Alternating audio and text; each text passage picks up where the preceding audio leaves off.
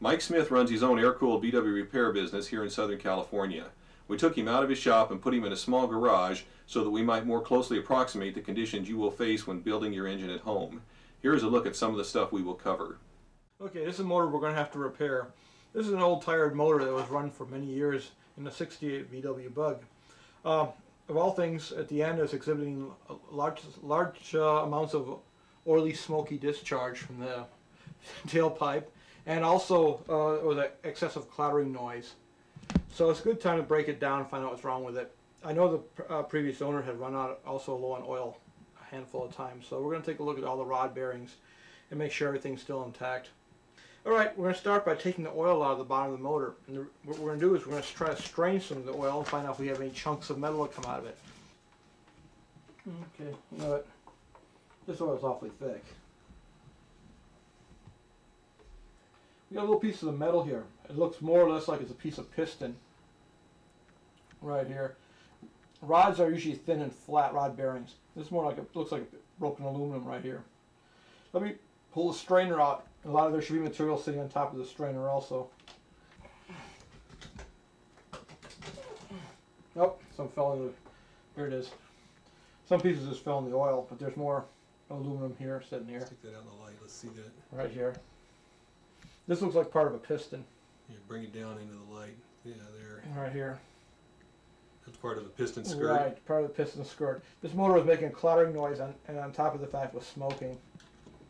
Okay, we have all we have the sheet metal off the uh, block. We have all the peripheral um, accessories off, fuel pump, generator stand, oil cooler. What I do before I take the heads off, I like to check the torque value of the heads to find to find out if the heads did keep torque. Because if it doesn't keep torque, we'll have to examine other things, such as are the heads damaged, are the case savers maybe pulling out. So here we go. We'll start with the. Okay, well that's good.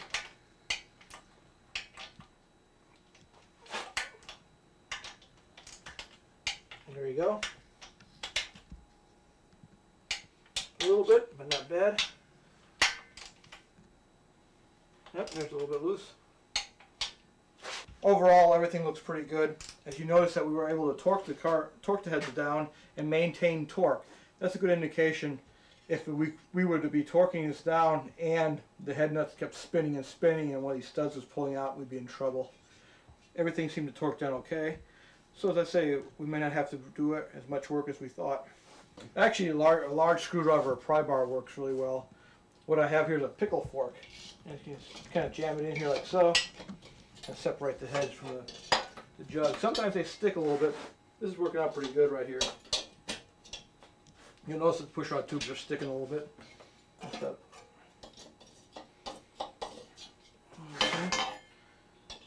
You ever break fins off doing that? Yeah, you know what happens? I do, but I'm very careful. Okay.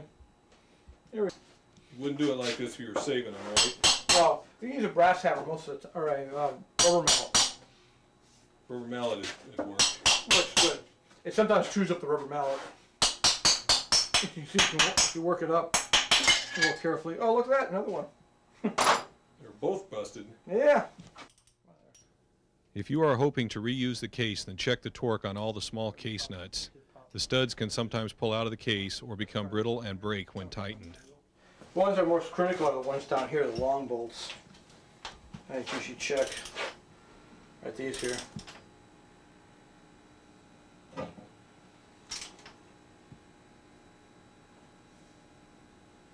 No, it's not popping though. It should be. See, I should have it.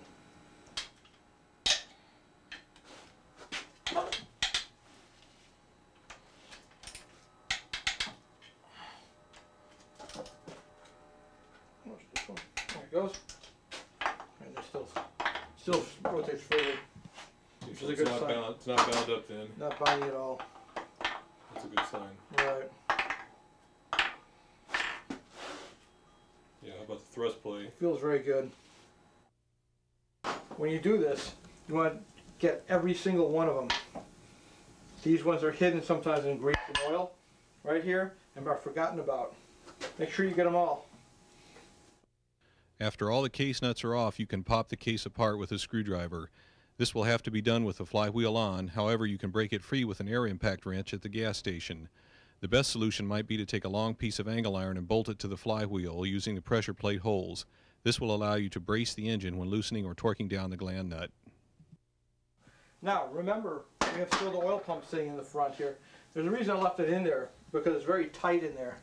Now, there's a special oil pump tool we can use, which I recommend getting. But once you start loosening the case, case halves up, you can actually lift the oil pump out easily. And you want to keep this main surface here from being damaged. If you insist on prying the case apart with a screwdriver, do it at these places. Be clear that any bumps you create on the case half mating surfaces are detrimental to both the seal and the operating strength of the assembled engine. Here is the proper tool for splitting the case without damaging the mating surfaces. If you want to recycle the lifters, then use lifter clips to keep them from falling out. There he goes. All right.